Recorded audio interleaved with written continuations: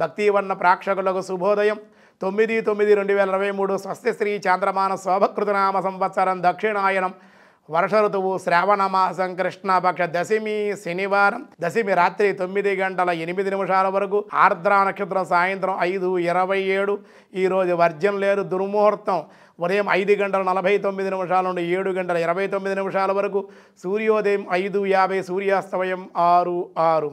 అమృత గంటల ఉదయం ఎని ఆరు గంటల యాభై రెండు నిమిషాల నుండి ఎనిమిది గంటల ముప్పై మూడు నిమిషాల వరకు రాహుకాలం ఉదయం తొమ్మిది గంటల నుండి పది గంటల ముప్పై నిమిషాల వరకు రాహుకాలం శుభ సమయం ఉదయం ఎనిమిది గంటల నుండి ఎనిమిది గంటల నలభై నిమిషాల వరకు ఉదయ శుభకాలం సాయంకాలం మూడు గంటల నుండి నాలుగు గంటల వరకు సాయంకాల శుభ సమయం పితిపాత్ర యోగం రాత్రి రెండు పదిహేను వని ఉదయం ఎనిమిది నలభై రెండు భద్రకరణం రాత్రి తొమ్మిది ఎనిమిది నిమిషాల వరకు ఈరోజు దశమి శనివారం అన్ని కార్యాలకి ఈరోజు చాలా అనుకూలం అలాగే రేపే ఏకాదశి కాబట్టి బహుళ ఏకాదశిని ఆచరించి అందరూ కూడా తరించండి.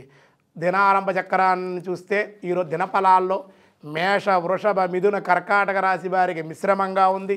సింహ కన్య తొల వృచ్చిక రాశి వారికి కూడా మిశ్రమంగానే ఉందని చెప్పాలి. మకర కుంభ మీనరాశుల వారికి కూడా సామాన్యంగానే ఉందని చెప్పాలి. మరింత అనుకూలంగా ఉండడం కోసం శనివారం గడి వెంకటేశ్వర స్వామి యొక్క ఆరాధన శనేశ్వర అష్టోత్తరం చదవడం కానీ శని నవగ్రహ దర్శనం కానీ నవగ్రహాల్లో శనేశ్వరుని దర్శించడం నవగ్రహ ఆరాధన దర్శనం కూడా విశేషమైన సత్ఫలితాలను ఈరోజు ఇస్తాయి. అన్ని కార్యాలకి ఈరోజు చాలా అనుకూలం. అలాగే విశ్వసా శ్రీనివాస కళ్యాణాలు జరుగుతూ ఉన్నాయి. మన దగ్గర సంచార శ్రీనివాస స్వామి వారు ఉన్నారు.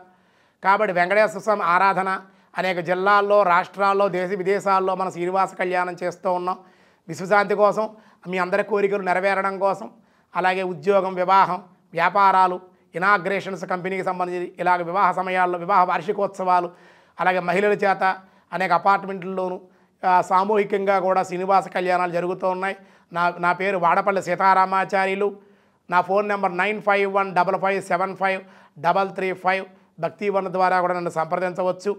యూట్యూబ్లో కూడా శ్రీనివాస కళ్యాణం లాగిన్ అయితే కూడా మీ కళ్యాణం ఎలా జరుగుతుందో ఆ వీడియోలు ఉంటాయి. తప్పనిసరిగా మీరు సంప్రదించండి. ఈరోజు భగవద్గీతలో షష్టమోధ్యాయంలో కృష్ణ పరమాత్మ ఏం చెబుతున్నారో తెలియజేద్దాం. పార్థాయ ప్రతిబోధిత భగవతాం నారాయణేన స్వయం. వ్యాసేనాగ్రదిత పురాణ మునినా మధ్యే మహాభారతం. అద్వైతామృతపరిషిణీం భగవతేమష్టాదశాధ్యాయిని అంబా త్వామనుసందరామి భగవద్గీతే భవద్వేషిణీ. యో మాం పశ్యతి సర్వత్ర సర్వంచమయ పశ్యతి. తస్యాహం న ప్రణశ్యామి సచమే న ప్రణశ్యతి. సర్వభూతస్థితం యో మాం భజంత్యాకత్వమాస్థిత. సర్వదా వర్తమానోసి సయోగీమయ వర్తతే. కాబట్టి సకల ప్రాణులయందును ఆత్మస్వరూపముగా నున్న నన్ను వాసుదేవుడని అంటే పరమాత్మయని పురుషుడు అంటే పురుషుడు అంటే మగవాళ్ళు అనుకోకూడదు. జీవుని పురుషుడు అని కూడా అంటారు. స్త్రీలు కానీ పురుషులు కానీ వాళ్ళ జీవుడు పురుషుడని పేరు. పురుషులు అట్టి ప్రాణులు అన్నింటి యందు నా ఎందు అంతర్గతముగానున్న నన్ను చూచుచు నేను నన్నే స్మరించుచూ ఉండేటువంటి వాడికి నేను అదృశ్యుడను. అతడు నాకు అదృశ్యుడు. అంటే ఎవరైతే నన్ను నన్నే పతిగా గతిగా భావించి యోగస్థితిలో ఉండి అంతర్ అంతర్గతంగా అంతర్గతంగా వాడు యోగధ్యా యోగంలో ఉండి నన్ను దర్శిస్తూ ఉంటాడు నన్ను స్మరిస్తూ ఉంటాడు నాకు ఎప్పుడు నేను కనపడుతూనే ఉంటాడు. వాడు నాకు కనపడతాడన్నమాట. అలాగే వాడు నాకు కనపడకపోవడం నేను వాడికి కనపడకపోవడం ఉండదన్నమాట. భగవంతుడు ఉన్నాడని నమ్మకం అదే అన్నమాట. నమ్మి చెయ్యాలి భగవంతుడు చేస్తే తప్పనిసరిగా ఉంటుంది. కష్టాలు కలిగాయి కదా బాధలు కలిగాయి కదా అని చెప్పి అనుకో భగవంతుడు చూడట్లేదు వార్తను చూసి సహించడం లేదు. ఆయన వల్ల నమ్ముకోవడం వల్ల కష్టాలు వచ్చాయంటే నువ్వు బ్యాంక్ బ్యాలెన్స్ ఎంతో ఉందన్నమాట. ఈ గత జన్మలోనూ ఈ జన్మలో ఎన్నో పాపం బాగా చేసేసి ఉంటావు. ప్రారంధ సంచి సంచిత ఆగామి కర్మలు ఉంటాయి. అవి తీరకపోతే ఈ జన్మలో కూడా కొన్ని కష్టాలు పడాలి. అవి తగ్గించుకోవాలంటే కర్మను తగ్గించుకునేటువంటి దాన ధర్మాలు మంచి పనులు చేస్తూ చెట్టుల్లో ఆడించడం చెరువులు తవ్వించడం కాలువలు శుభ్రం చేయడం దేవాలయాలు పాడు చేయకుండా వాటిని రక్షిస్తూ ఉంటాం. మన గ్రామాల్లో ఉండే దేవాలయాలు నిత్యము ధూపం దీపం నైవేద్యం బ్రాహ్మణ అర్చకుడు సుఖంగా సంతోషంగా ఆనందంగా ఉన్నాడా లేదా? ఆ చూ మన గ్రామంలో ఉండే దేవాలయం ఆనందంగా ఉంటే మన గ్రా అర్చకుడు ఆనందంగా దేవాలయంలో ఆ కైంకర్యాలు బాగా జరిగితే మన గ్రామం మన రాష్ట్రం మన దేశం విషయం బాగుంటుంది. వాళ్ళు ఏడుస్తూ ఉన్నారనుకోండి అన్యమతస్తులు చూడండి. వాళ్ళ చర్చిల్లో మసీదుల్లో మన రానివ్వరు. పైగా మన దేవాలయ కొబ్బరి బొండాలు పువ్వులు అన్నీ అమ్ముకుంటూ ఉంటారు పసుపు కుంకాలు. మన మన అధ్య మన హిందూ ధర్మంలో. మన దేవాలయాల మీద ఆధిపత్యం. మళ్ళీ ఈఓలు వాళ్ళే చైర్మన్లో వాళ్ళే కమిషనర్లో వాళ్ళే ఇతర మతస్థులు ఎలా ఇస్తారండి అది? ఎంత తప్పు అండి అది? మన దేవాలయం వేరే మతస్థులు మన- మన ధర్మం నిలబడుతుందా? పైగా పెద్ద పెద్ద సీఎంల దగ్గర నుంచి హోమ్ మినిస్టర్ల దగ్గర నుంచి పెద్ద పెద్ద కోర్టులు కూడా సరిగ్గా న్యాయం చెప్పలేని పరిస్థితి వేళ ఉందన్నమాట.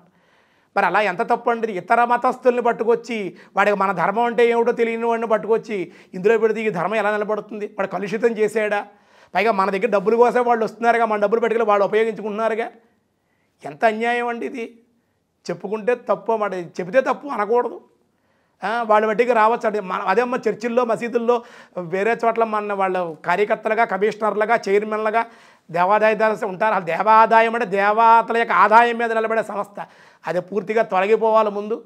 అది తొలగపోవడం ప్రతి ఊళ్ళో ప్రతి జిల్లాలో ప్రతి రాష్ట్రంలో ప్రతి దేశంలో ప్రతి ఒక్కడు కూడా నిలబడి మన దేవాలయం మనం రక్షించుకోవాలి. మన గ్రామంలో ఉండే అది ప్రైవేట్ దేవాలయం గవర్నమెంట్ దేవాలయం ఏదైనా సరే రక్షణ చేసి మీరందరూ నిలబడాలి. మన దేవాలయం రక్షణగా ప్రతి పౌరుడు నిలబడాలి. హైందవ సనాతనమైన సాంప్రదాయం కోసం ప్రతి ఒక్కడో కూడా కంకణం కట్టుకుని నిలబడి ఉంటే మన ధర్మం రక్షించబడుతుంది. మన దేవాలయాలు మన గోవులు మన స్త్రీలు మన పురుషులు అందరూ నిలబడదు నిలబ రక్షణగా ఉంటుంది. లేకపోతే ఏది నిలబడదు.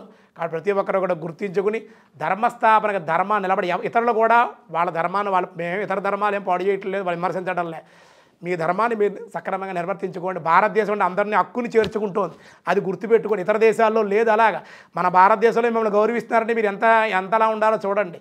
కాబట్టి మన భారతదేశం అందరినీ హక్కుని అన్ని ధర్మాలని గౌరవిస్తుంది కాబట్టి హిందూ ధర్మాన్ని మీరు గౌరవించి మీ ధర్మాన్ని మీరు చేసుకోండి. మేము ఏమంటలే మా ధర్మాన్ని రక్షించండి. మా ధర్మం జోలికి రాకండి. మీ ధర్మం పని మీరు చేసుకోండి. అలా ఉంటే ఎవరికీ గొడవలు ఉండవు. మీరు ఆనందంగా ఉంటారు మేము ఆనందంగా ఉంటారని మిమ్మల్ని గౌరవిస్తున్నాం మేము. మిమ్మల్ని పొగుడుతున్నాం. మీరు కూడా మమ్మల్ని గౌరవించండి. అని మేము మీ ధర్మాన్ని అది గౌరవించకపోయినా పర్లేదు మీ ధర్మాన్ని మీరు చేసిన మా ధర్మం జోలికి రాకండి అని తెలియజేస్తూ కృష్ణుడు ఇక్కడ ధర్మం కోసం అదే చెబుతూ ఉన్నారు ఎవరి ధర్మాన్ని వాళ్ళు స్వధర్మాన్ని పాటించండి అని చెబుతూ ఉన్నారు. ఈరోజు స్వస్తి మిగతా విషయాలు రేపు తెలియజేద్దాం. సనాతన ధర్మం ప్రపంచానికి ఒక వరం లాంటిది. సనాతన ధర్మం యొక్క గొప్పతనాన్ని మేము untold stories from Hinduism vedic facts ధర్మ సందేహాల ద్వారా మనలో చాలామందికి తెలియని విషయాలు చెప్తూ జాగృతి పరిచే ప్రయత్నం చేస్తున్నాము. సనాతన గొప్పతనాన్ని చాటేందుకు వీడియోస్ను లైక్ చేయండి అలాగే షేర్ చేయండి. సబ్స్క్రైబ్ చేయడం ద్వారా మాకు సపోర్ట్ ఇవ్వండి అలాగే మీ అభిప్రాయాలను కామెంట్స్ రూపంలో పంచుకోండి.